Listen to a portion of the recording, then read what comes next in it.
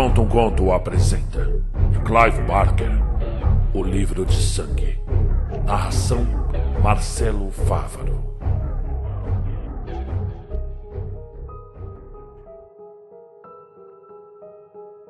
Os mortos têm suas estradas. Por elas transitam filas constantes de trens fantasmas, carruagens de sonhos, atravessando a terra árida atrás das nossas vidas com o tráfego infindável das almas que partiram.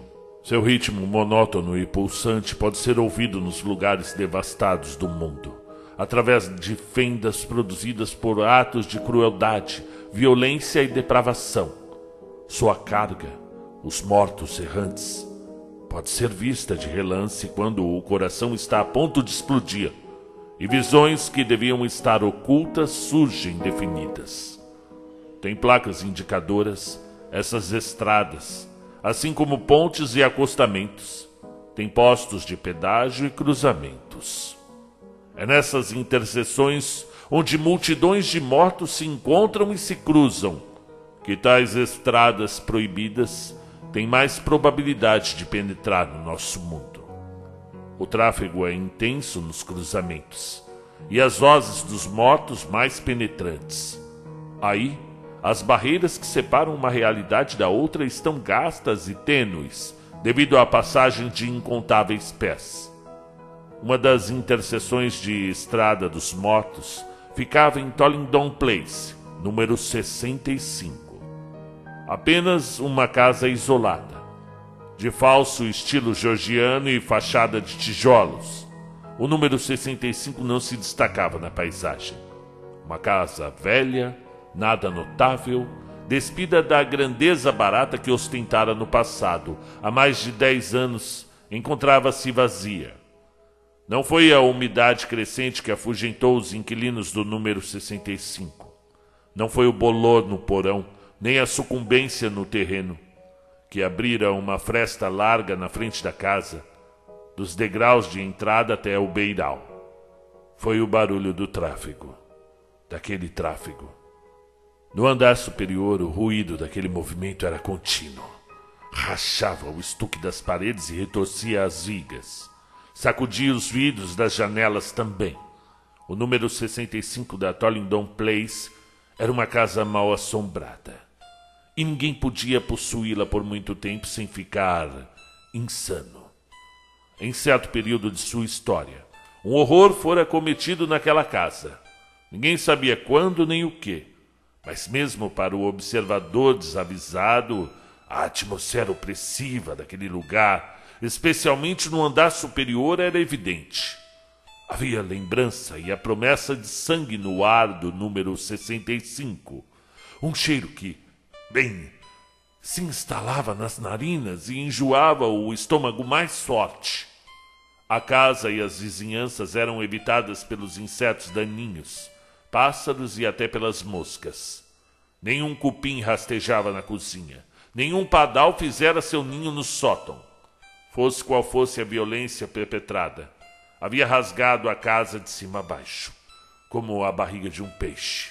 Através desse corte, daquele ferimento aberto diante do mundo, os mortos espiavam e comentavam o dia a dia. Pelo menos era o que se dizia. Era a terceira semana de investigação no número 65 da Tollington Place.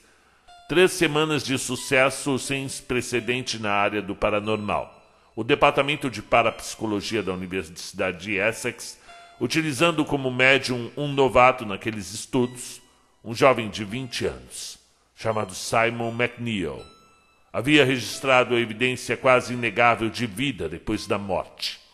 No quarto do último andar da casa, que não passava de um cubículo claustrofóbico, o rapaz McNeil aparentemente havia invocado os mortos. E ao seu pedido, eles haviam fornecido uma vasta prova de suas visitas, escrevendo com centenas de caligrafias diferentes nas paredes amarelo claro. Ao que parecia, escreviam o que lhes vinha à cabeça naquele momento. Os nomes, é claro, as datas de nascimento e de morte fragmentos de lembrança e desejos de boa sorte para seus descendentes vivos. Frases estranhas e tortuosas que insinuavam seus tormentos e lamentavam as alegrias perdidas. Algumas das caligrafias eram duras e feias, outras delicadas e femininas. Havia desenhos obscenos e piadas não terminadas ao lado de versos românticos. Uma rosa mal desenhada, um jogo da velha, uma lista de compras. Mortos famosos haviam comparecido àquele muro de lamentações. Mussolini estava lá, John Lennon e James Joplin. Desconhecidos também, quase anônimos, haviam assinado ao lado dos figurões. Era uma lista de presença dos mortos e aumentava a cada dia, como se a notícia estivesse se espalhando de boca em boca entre as tribos perdidas, atraindo todos para fora do seu silêncio e levantando-os, levando-os a inscreverem os seus nomes nas paredes daquele quarto vazio, marcando sua sagrada presença.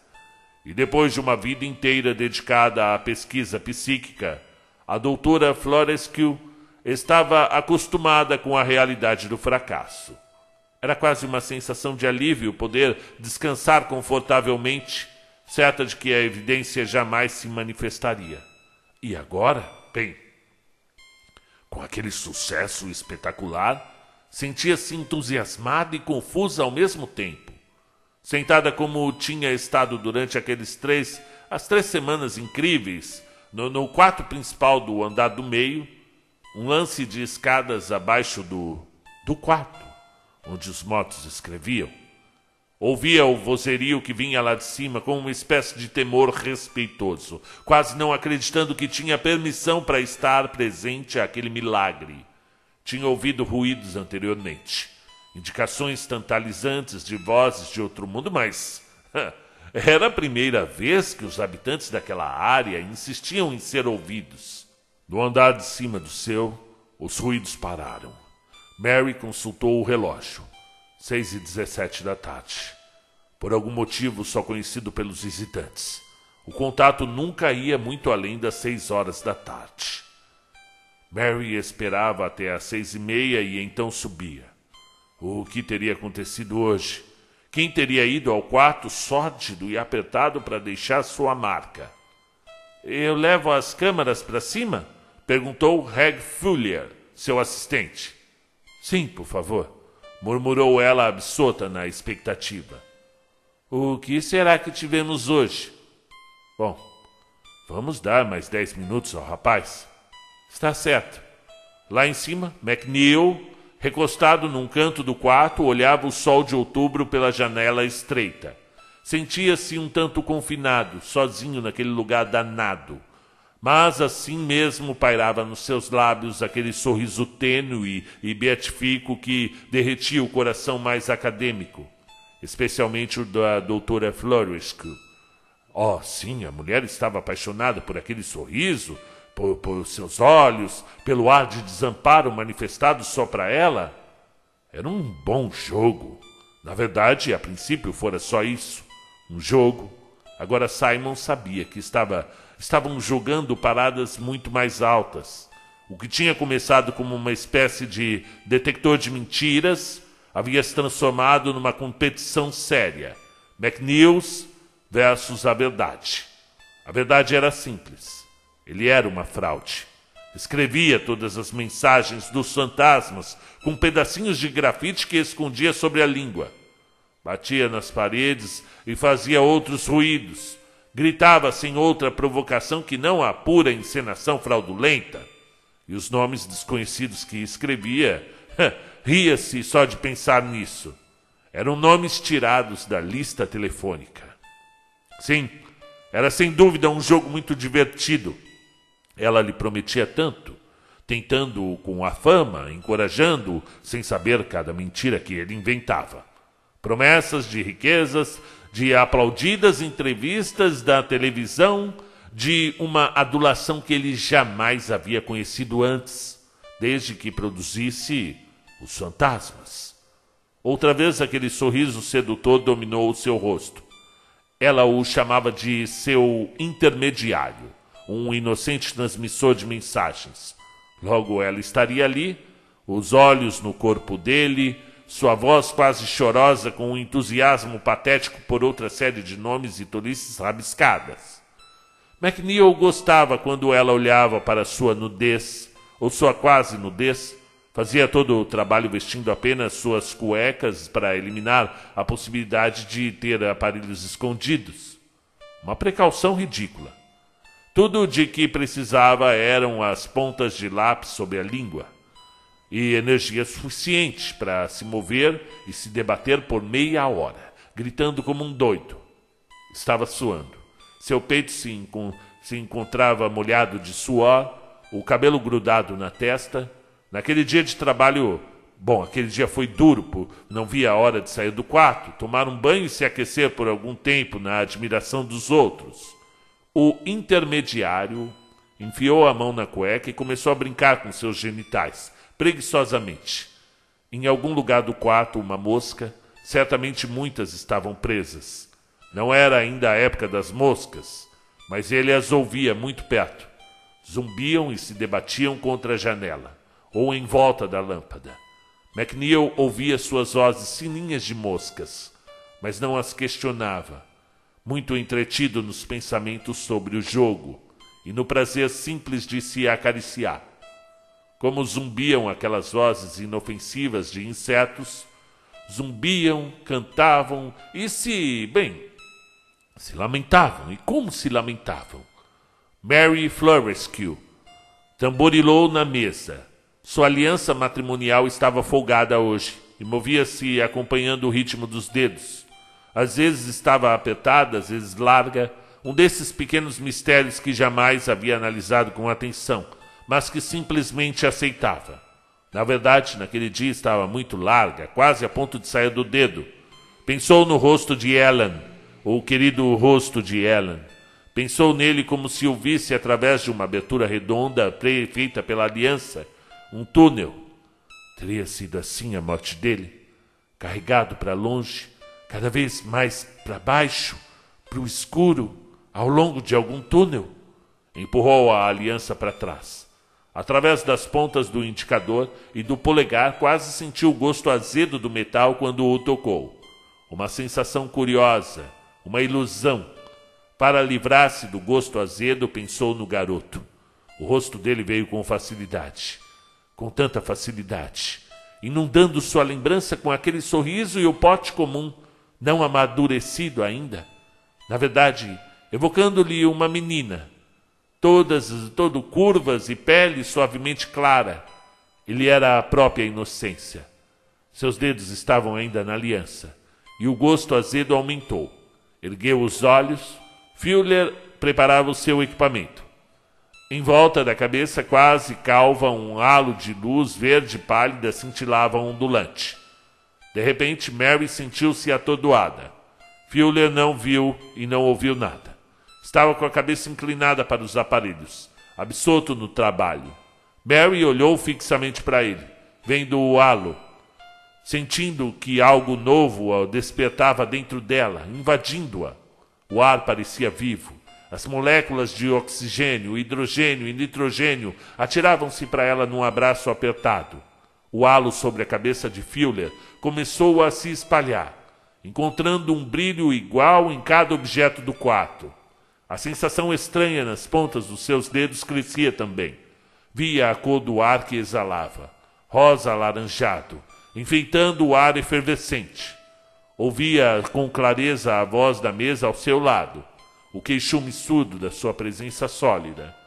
O mundo estava se abrindo, levando suas sensações a um êxtase, conduzindo-as para uma confusão desordenada de funções Subitamente percebeu que podia ver o mundo como um sistema, não de política ou religiões, mas um sistema de sensações, um sistema que se alargava, saindo da carne viva para a madeira inerte da mesa, para ouro velho da sua aliança, e mais além, além da madeira, além do olho, do ouro, abriu-se a fenda que dava para a sua estrada. A estrada. Em sua cabeça, ela ouvia vozes que não vinham de qualquer boca viva.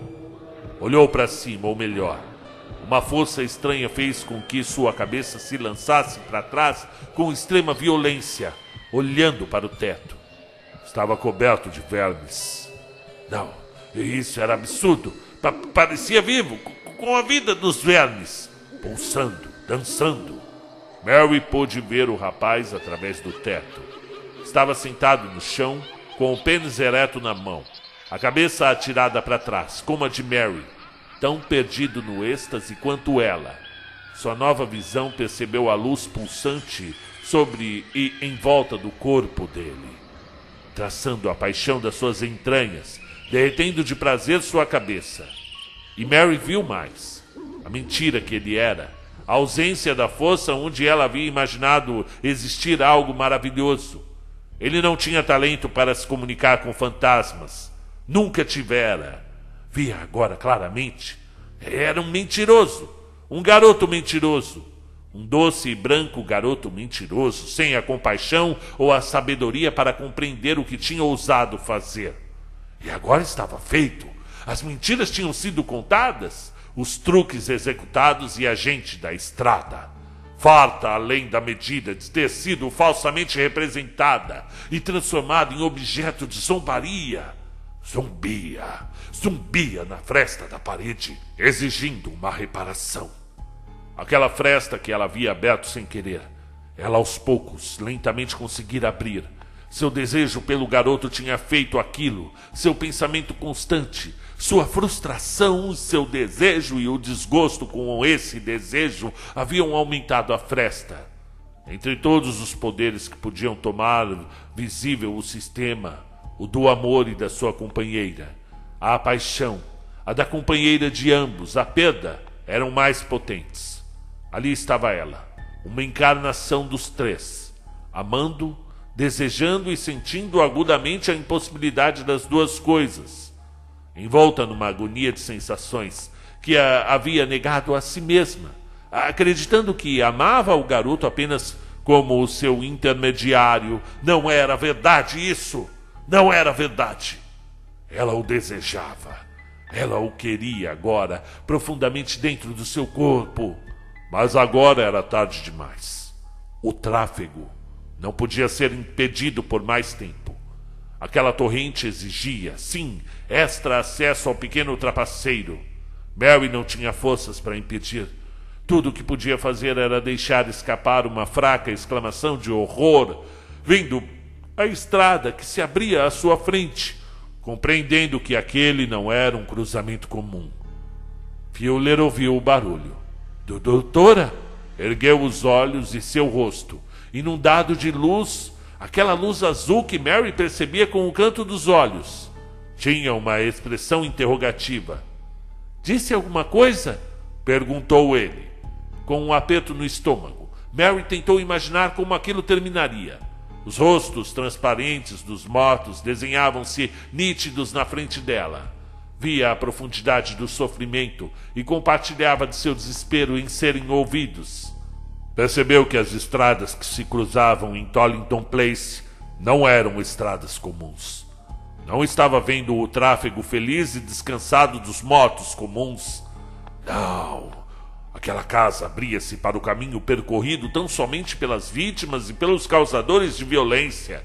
Os homens, as mulheres, as crianças que tinham morrido entre todas as dores que o nervo, os nervos podem provocar e levavam nas mentes a marca indelével das circunstâncias da sua morte.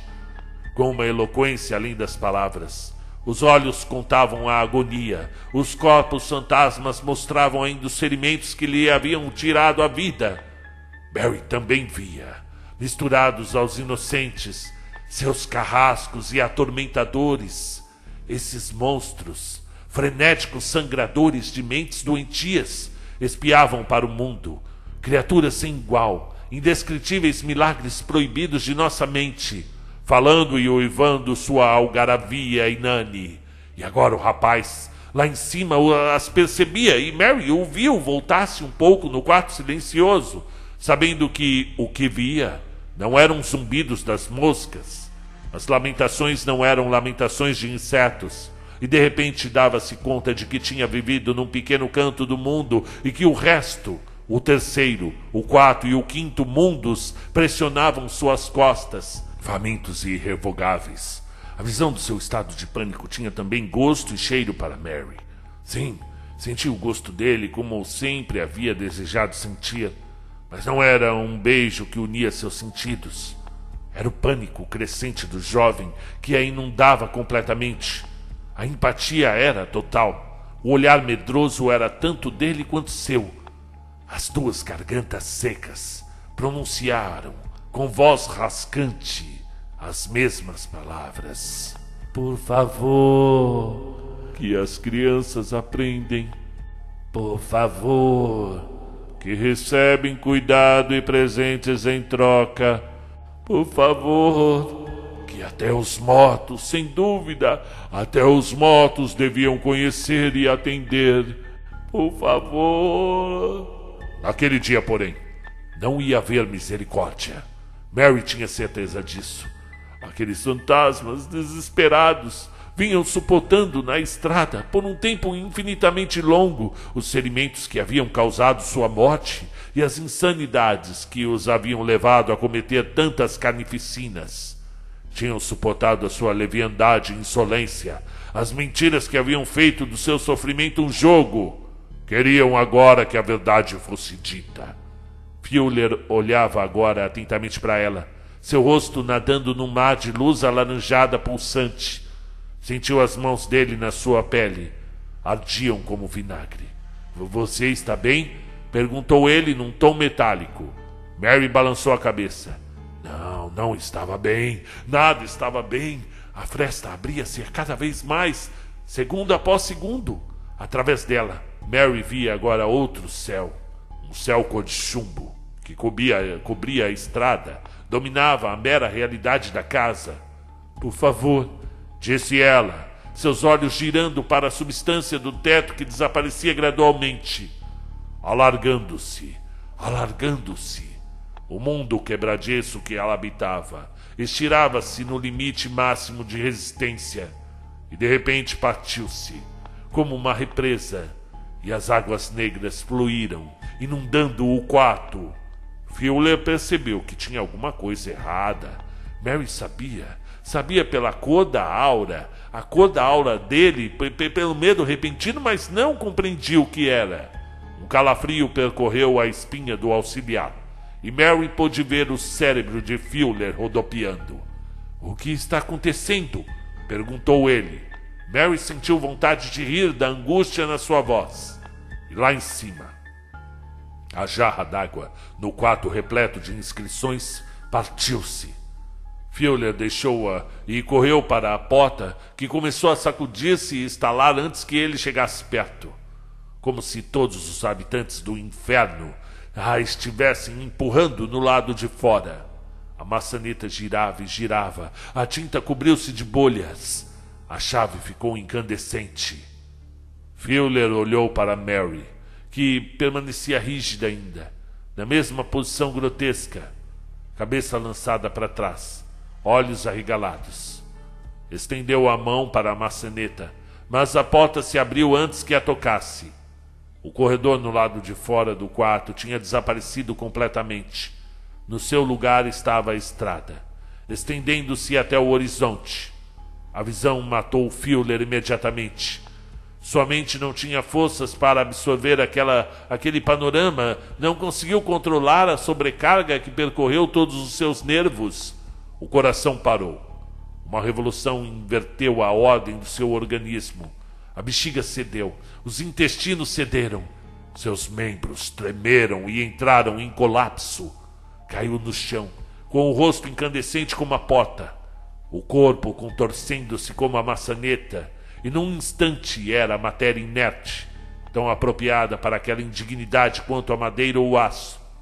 Em algum ponto a leste, sua alma entrou na estrada partida, a caminho da interseção onde acabara de morrer Mary Florescu sabia que estava sozinha. Acima dela, o belo rapaz. Aquele belo jovem mentiroso contorcia-se e gritava sob as mãos vingadoras dos mortos que agarravam sua pele jovem. Mary sabia das intenções deles. Estavam marcadas naqueles olhos. Não havia nada de surpreendente nisso. Toda a história tem seu tormento tradicional. Este devia ser usado para registrar seus testamentos. Ele seria a página, o livro, o veículo das suas autobiografias. Um livro de sangue. Um livro escrito com sangue. Ela pensou nos artefatos macabros feitos com pele humana que havia visto, que havia tocado. Pensou nas tatuagens que havia visto, apenas para exibições, em parques de diversões, eh, algumas delas, eh, outras apenas em trabalhadores sem camisa, andando, ria, rua, com uma mensagem para suas mães, gravadas nas costas. Não era novidade nenhuma escrever um livro com sangue, mas naquela pele naquela pele tão translúcida. Oh, meu Deus, isso era um crime. E ele gritava, enquanto as agulhas torturantes de vidro quebrado eram passadas por sua carne, abrindo grandes sulcos. Mary sentiu a agonia como se fosse dela, e não lhe pareceu assim tão terrível. Mas ele gritava, e lutava, e xingava seus atacantes com nomes obscenos. Amontoavam-se em volta dele surdos a qualquer súplica ou prece, torturando o seu corpo com todo o entusiasmo de criaturas dia muito obrigadas a um silêncio total. Mary ouvia a voz dele enfraquecendo-se em súplicas e lutou contra o peso, o peso do medo em seus próprios membros. Sentiu que, de algum modo ou de outro, precisava ir ao quarto de cima. Não importava o que houvesse além da porta ou da escada. Ele precisava dela, e isso era o bastante. Mary levantou-se e sentiu o cabelo esvoaçar violentamente, eriçando-se como as cobras da medusa. A realidade era ondulante. Mal percebia o chão sob os pés. As tábuas da casa eram de madeira fantasma. E além delas, a escuridão furiosa clamava e se abria à sua frente. Olhou para a porta, sentindo o tempo todo uma letargia contra a qual mal podia lutar. Evidentemente, não queriam que fosse lá em cima. Uh, talvez, pensou Mary, até tenham um pouco de medo de mim. A ideia a fez decidir-se porque se dariam ao trabalho de intimidá-la. Se sua presença, depois de ter aberto aquele buraco no mundo, não representasse uma ameaça para eles. A porta incinerada estava aberta. Além dela, a realidade da casa havia sucumbido completamente ao caos ululante da estrada. Mary saiu do quarto, concentrando-se nos pés que tocavam ainda o chão sólido, embora seus olhos não o pudessem ver. O céu acima dela era azul da Prússia, a estrada, larga e castigada pelo vento, mortos por toda parte. Abriu como se estivesse entre uma multidão de pessoas vivas, enquanto os rostos idiotas e boquiabertos olhavam para ela, odiando a invasão o por favor tinha desaparecido. Agora Mary não dizia nada, apenas rilhava os dentes e entrecerrava os olhos na frente da estrada, porque colocava os pés para frente com determinação para encontrar a realidade da escada, de que ela sabia que estava ali. Tropeçou quando chegou ao primeiro degrau, e um uivo ergueu-se da multidão. Não sabia se estavam rindo de inepta ou advertindo-a sobre até que ponto podia ir. Primeiro degrau, segundo degrau, terceiro degrau, embora mãos a puxassem de todos os lados, estava se adiantando entre a multidão. Já podia ver, pela porta aberta, o quarto onde estava deitado no chão seu pequeno mentiroso. A cueca estava na altura dos tornozelos. Parecia uma cena de estupro. Ele não gritava mais, mas seus olhos estavam vidrados de terror e dor. Pelo menos estava vivo.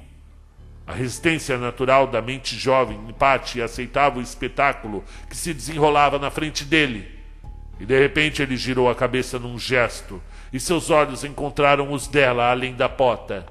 Naquele momento extremo, ele conseguiu despertar um talento real, uma arte que ainda era uma fração da que Mary possuía, mas o suficiente para entrar em contato com ela.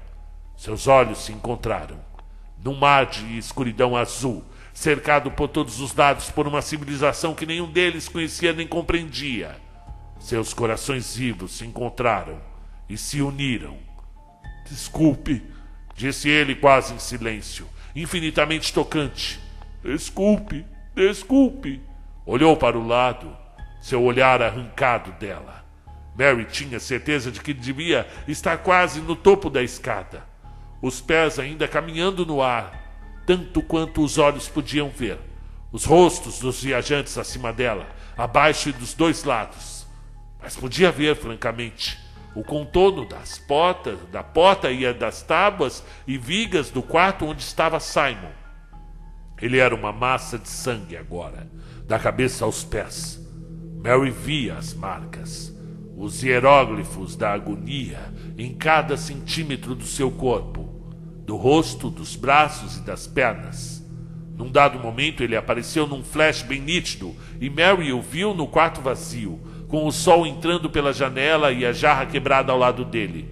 E então sua concentração enfraqueceu e ela viu o mundo invisível tornado visível, com Simon dependurado no ar, enquanto os mortos escreviam em seu corpo, por todos os lados, arrancando punhados de cabelo da sua cabeça e do seu corpo para conseguir mais espaço na página, escrevendo nas axilas, escrevendo nas pálpebras, nos órgãos genitais, nas nádegas, no rego, nas solas dos pés. Somente os ferimentos eram uma visão comum dos dois, dos dois quadros, porque quer ela ouvisse atacado pelos escritores, quer sozinho no quarto, ele sangrava e sangrava. Mary estava diante da porta agora.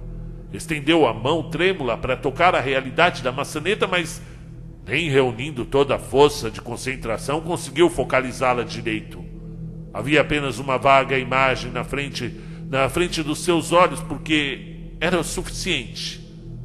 Agarrou a maçaneta girou-a e escancarou a porta do quarto onde os escritores trabalhavam incessantemente. E lá estava ele, na sua frente. Não mais do que dois ou três metros de ar apodrecido separavam.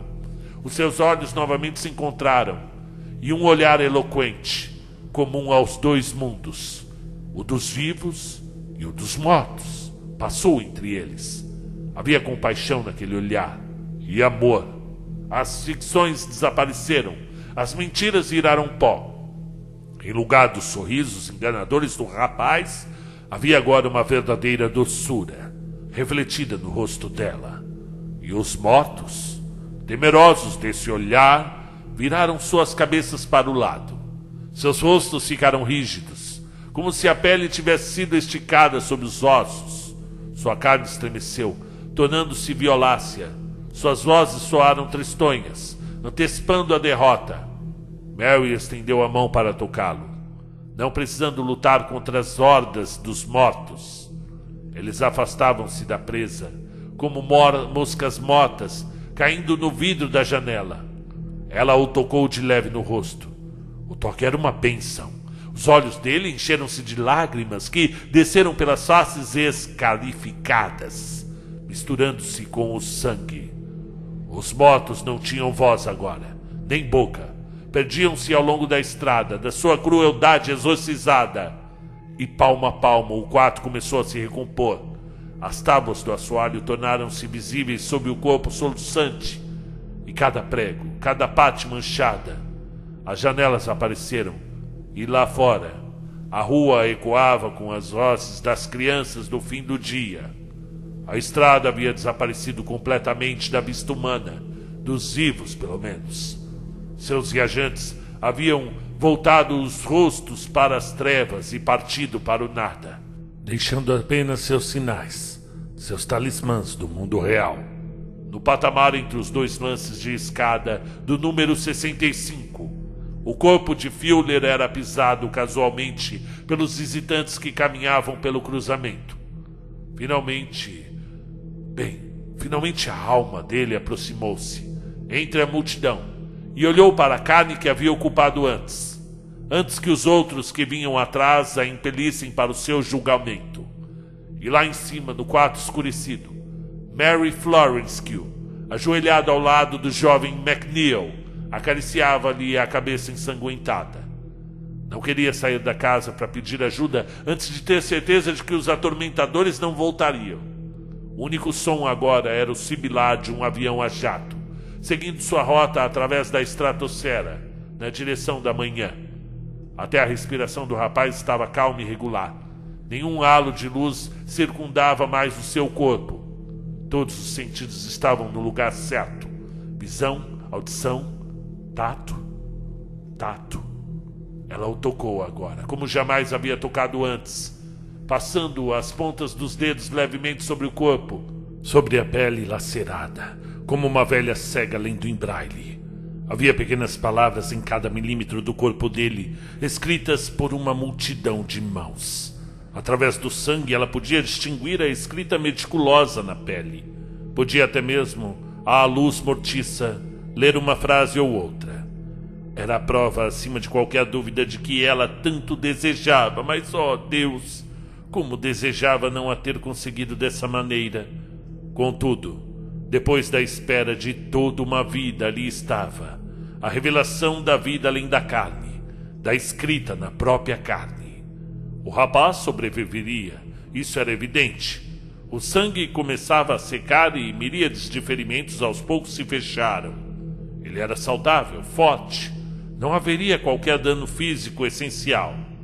É claro que, bem, a sua beleza se fora para sempre. De agora em diante ele seria, na melhor das hipóteses, um objeto de curiosidade e, na pior, de repugnância e horror. Mas ela o protegeria e ele ia aprender com o tempo a conhecê-la e confiar nela. Seus corações estavam unidos para sempre.